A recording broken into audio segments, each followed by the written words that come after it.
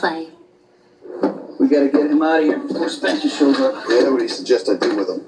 Well, I don't know if it's gonna fit with your law-abiding lifestyle. I guess I'll take him to the cops. That won't be necessary. I'll take it from here. Can you cuff him?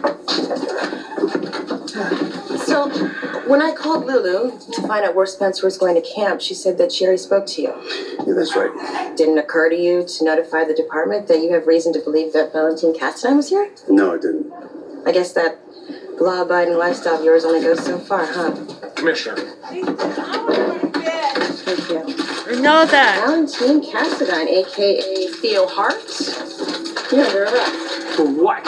I'm the victim here. This man attacked me. I believe he was disarming you before you could harm another. So, first charge is going to be possession of illegal firearms. Second, I'm sure that the Greek authorities are going to have a laundry list of charges ready for you. You have the right to remain silent. If you give up that right to remain silent, anything you say can and will be held against you in the court of law. What?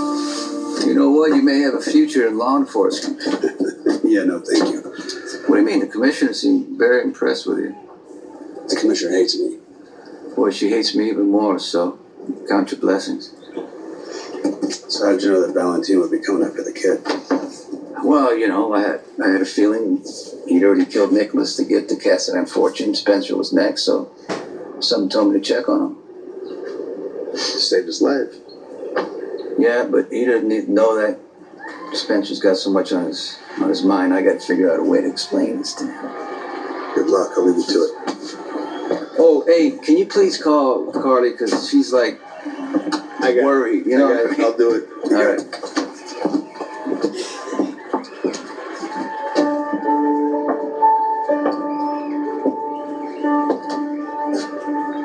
Uncle Sonny, did you hear that? A standing ovation for me. Well, what, what do you expect? You're the star of the show. Now you're gonna have to take your, your stuff off because uh, we got somewhere we need to go. But I can't go with you. I have to go with Theo. Where is he?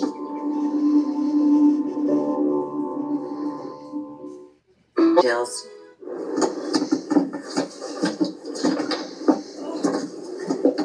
Listen, Theo, he had to go.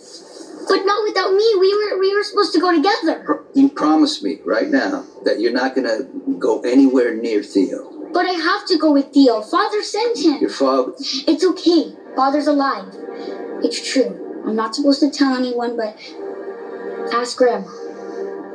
I believe you, but you, there's one thing that. Father was going through some troubles, and he had this plan that he was going to send Theo to come get me, and we would go off on an adventure together.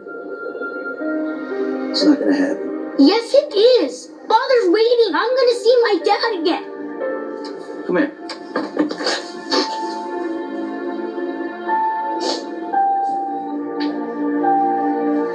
Have a seat.